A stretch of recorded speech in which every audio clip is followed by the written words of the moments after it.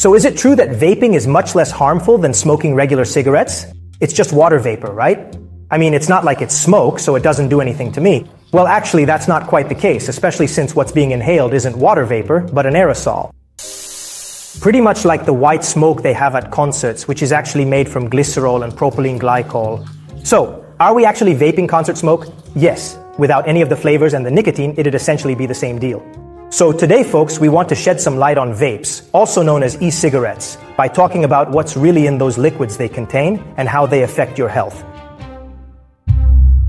Ciao ragazzi, this video was written and filmed in Italian by our team of scientists, storytellers and video makers. We are Italians. It was manually translated into English, but dubbed with artificial intelligence. Long live culture and let's go back to the video. The liquid in e-cigarettes is mostly made up of a mix of propylene glycol and essentially glycerol, also known as glycerin or vegetable glycerin. Sometimes there's also a tiny bit of water, but most of the time there isn't. And what are propylene glycol and glycerol? Well, they're organic substances that have a very similar molecular structure and are relatively non-toxic. In fact, they're used in a wide range of products, in food as an additive, in smoke machines, and in many types of cosmetics. But this doesn't mean they're harmless because, as always, it's the dose that makes the poison. So it's true that they're not overly toxic on their own, but if you breathe in a lot of this stuff, you could indeed experience some side effects. But we'll talk about the health effects later. Then, obviously, you can also add nicotine and flavors. Nicotine is a substance that I think we all know about, and it's what's addictive and has effects on your brain and health. Two different forms of nicotine may be found in the liquid with a maximum concentration of 20 milligrams per milliliter. It might be pure nicotine, so just the nicotine molecule as it is, or a nicotine salt, like nicotine benzoate, nicotine tartrate, or even nicotine lactate. So, about these salts, they say that they actually get absorbed in your mouth faster than regular nicotine does. In the literature about this, opinions differ widely. Some claim that normal nicotine is absorbed faster, while other studies conclude the opposite. The bottom line is that it's always nicotine, the flavors, on the other hand, are obviously added for taste and come from organic substances dissolved in the liquid. For instance, to get a minty flavor, menthol is usually added. For a peachy taste, it's 2-isopropyl N, 2,3-trimethylbutyramide, a particular molecule, or for a lemony kick, some limonene.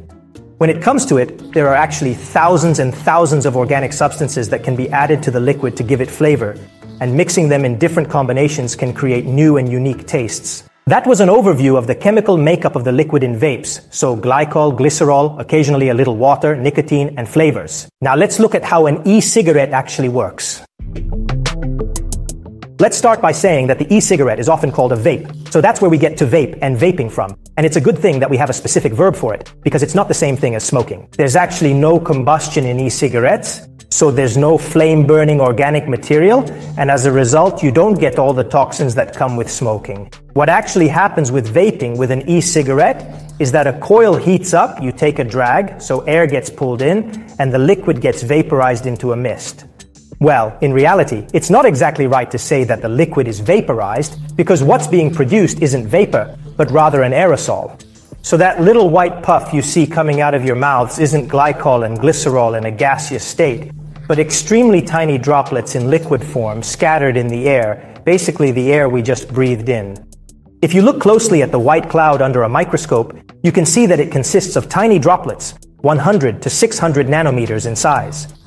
That's about a thousand times smaller than a hair's breadth, so they're tiny little droplets suspended in the air, not vapor. Then there's another term that's actually not quite right. The coil that heats the liquid and then turns it into an aerosol is often called an atomizer. From a technical standpoint, atomization is a process that breaks down a material into individual atoms. For instance, let's say we take a piece of iron and break it down into teeny tiny bits until we get right down to the individual iron atoms. Well, that's what atomization is.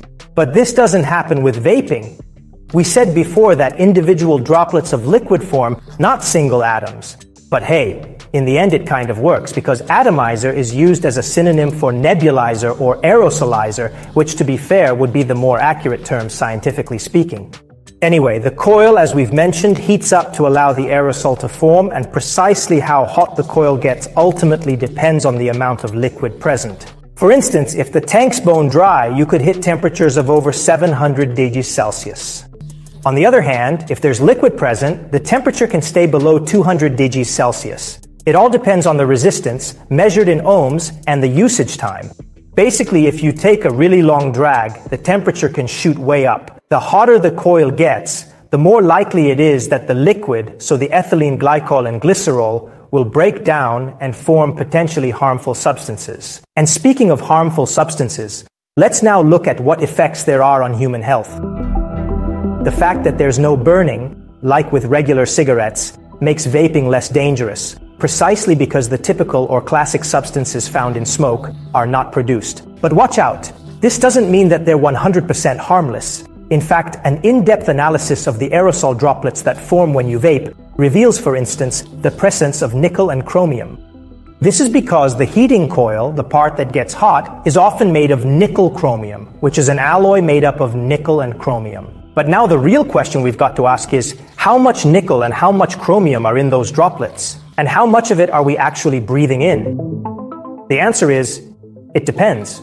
It all depends on how much you vape, the temperature the coil heats up to, and what the coil is made of. Basically, there are a whole lot of factors at play. So if we want concrete information on the potential damage caused by these metals, more time and some big in-depth studies are needed. In addition to these metals, other substances may form.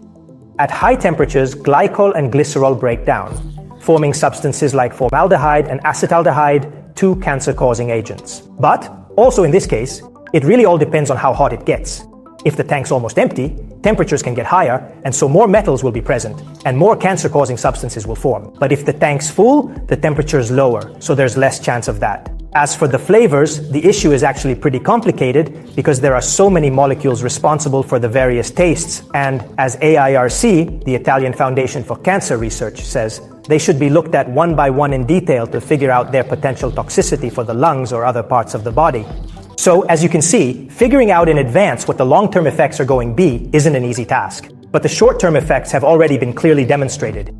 These include irritated airways, excessive mucus production, coughing, trouble breathing, chest pain, nausea, vomiting, diarrhea, tiredness, fever, and weight loss. Not to mention all the side effects of nicotine, which, let's not forget, besides being super addictive, can lead to high blood pressure, diabetes, and in young people, it can also interfere with neurological development, so it can affect brain development.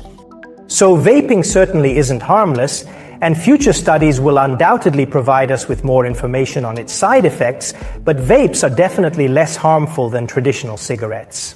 Guys, thanks so much for watching this video, which by the way was just the first of several. We'll definitely make another one about heated tobacco products and one on traditional cigarettes too. Share this video with anyone who vapes. See you again soon here on Geopop Everyday Science. Alla prossima.